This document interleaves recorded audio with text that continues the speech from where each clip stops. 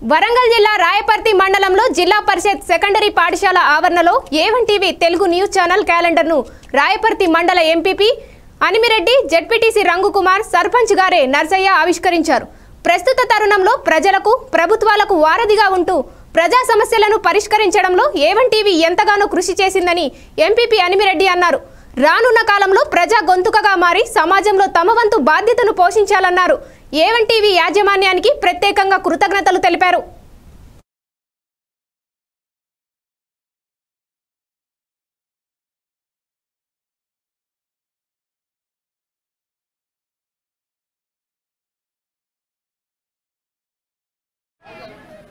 ఏ one TV ఈరోజు చాలా గొప్పగా ఎప్పటికప్పుడు నిత్య నూతనమైన వార్తలతోటి ప్రజాదరణ పొందుతున్నది.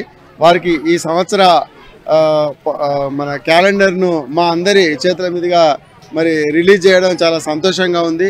ఆ మీడియా టీవీకి ఈ పేరు పేరున రాయపతి మండలం తరపున ప్రత్యేక కృతజ్ఞత ధన్యవాదాలు తెలుపుకుంటూ ఎప్పటికప్పుడు స్థానిక సమస్యలను ప్రజల దృష్టి తీసుకుపోయి మరి స్వాతంత్రం వచ్చిన తర్వాత మొదటి ప్రభుత్వం గొప్పగా అన్న మాట ఏంటంటే పత్రికలే ప్రధాన ప్రతిపక్షాలని. అంటే వాళ్ళు ఎప్పటికప్పుడు ప్రజల లోపల ఉన్నటువంటి అసమానతలు ప్రభుత్వం లోపల ఉన్నటువంటి అసమానతలను అన్నిటి కూడా ఎప్పటికప్పటికి పాలకుల దృష్టి తీసుకొచ్చి ప్రజలకు నేరుగా న్యాయం జరిగే విధంగా అంటే భక్తుడికి భగవంతుడికి అనుసంధానం దర్బార్ అగరబత్తి అని అన్నట్టుగా ప్రజలకు ప్రభుత్వానికి మధ్య వారధిగా దినపత్రికలు దినదిన అభివృద్ధి చెందుతా ఉన్నాయి. అందులో ఏ వన్ టీవీ చాలా గొప్పగా వ్యవహరిస్తున్నది. ముఖ్యంగా రాయపతి మండలంలో మాత్రం ఎప్పటికప్పటికి ఈ మధ్యనే మేము రైతు సమస్యల మీద కానీ చాలా యాక్టివిటీ చేస్తున్నాం. డెవలప్మెంట్ కార్యక్రమాలు ఎప్పటికప్పటికి కూడా టీవీలో రిలీజ్ అవుతున్నాయి.